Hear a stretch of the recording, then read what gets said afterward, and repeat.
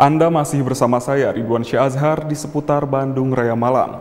Pemirsa sebagai kota yang berbatasan langsung dengan Kabupaten Bandung, pemerintah Kota Cimahi beserta Satgas Pangan Polres Cimahi melakukan sidak ke sejumlah pedagang daging sapi di pasar tradisional Kota Cimahi.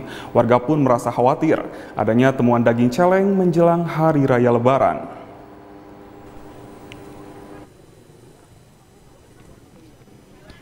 Petugas gabungan dari Dinas Pangan dan Pertanian Kota Cimahi beserta Satgas Pangan Polres Cimahi melakukan inspeksi mendadak atau sidak ke sejumlah pasar tradisional di Kota Cimahi. Salah satunya Pasar Antri. Satu persatu penjual daging sapi diperiksa petugas mulai dari aroma, kulit hingga tekstur daging sapi.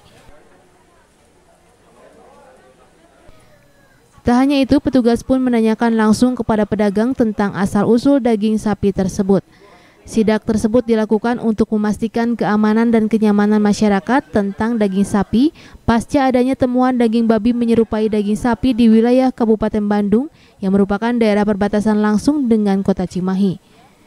Pasca adanya temuan daging celeng, sejumlah warga pun merasa khawatir dan was-was. Pengecekan terhadap daging yang baru beredar, informasi adalah beredarnya daging babi di pasaran yang menyerupai daging sapi atau dijual dalam bentuk daging sapi.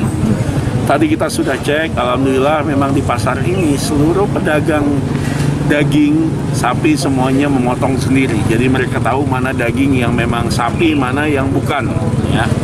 Dan nanti bisa dijelaskan lagi supaya lebih jelas dan lebih detail agar masyarakat mengetahui jangan sampai tertipu.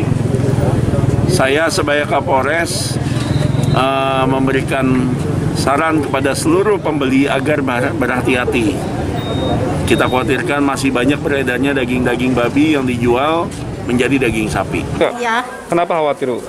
Takut kan nggak tahu saya itu uh, gimana uh, apa pintunya uh, daging babi sama sapi kan sama kan nggak tahu gitu jadi gimana khawatir berarti masa khawatir. khawatir. Khawatir ibu. Terus tadi dijelasin nama ibu dinkes sama polisi gimana bu? Ngerti? Oh ya ngerti. Selain melakukan sidak, petugas pun memberikan edukasi pemahaman kepada masyarakat tentang perbedaan daging sapi asli dengan daging babi atau daging celeng. Algi Muhammad Gifari, Bandung TV